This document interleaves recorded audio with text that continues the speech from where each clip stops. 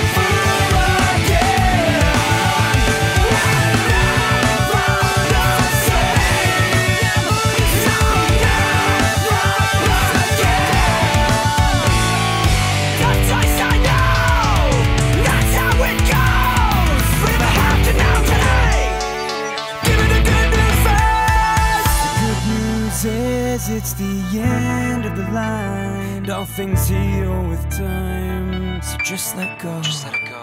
The good news is